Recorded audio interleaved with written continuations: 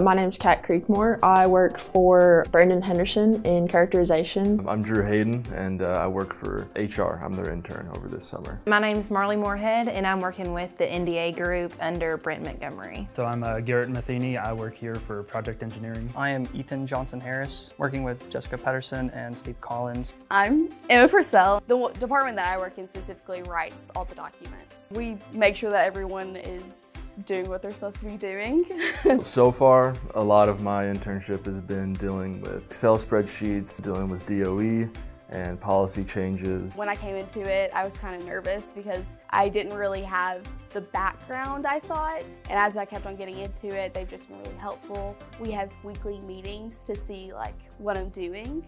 All the people here are very, very nice and they understand that you're not you know, someone who's been here for 30 years on a tenure, so they know that you're coming in with minimal, minimal information and they are very good at guiding you in the right direction. They will sit down and explain everything to you as you're doing it, and then they'll they'll show you once and they'll just make you do it. I knew going into this, engineers, they do kind of go into more of the technical side of things, but I didn't really see myself going up on the cell floor where they actually like did uh, enrich uranium. Like that is that has been so cool to me, knowing that I got to do that and that is something that not many people get to do.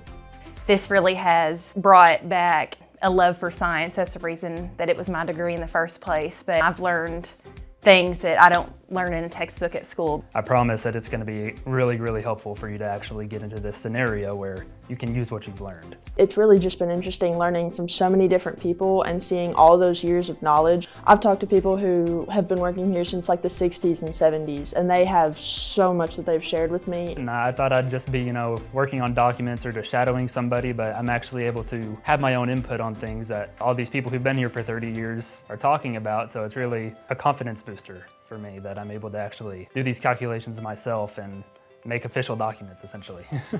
you're doing something that matters and you're doing work that matters uh, to the plant and in some cases you're doing work that matters that goes outside this plant. Knowing that I'm doing something that's important, it makes it feel so much more worth it just to know that I'm actually being helpful and useful.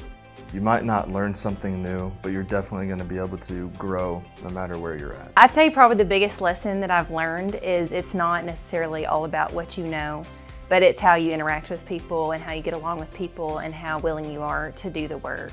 Don't be nervous. You're here for a reason. You're here to learn. You are an intern. You haven't had that real world experience yet. So this is where you get to learn to implement everything that you've learned. And if you don't know everything, that's okay. Anything they teach you, just just listen to it. Talk to as many people as you can. Connections matter, especially here where you are talking to basically any kind of department you can think of.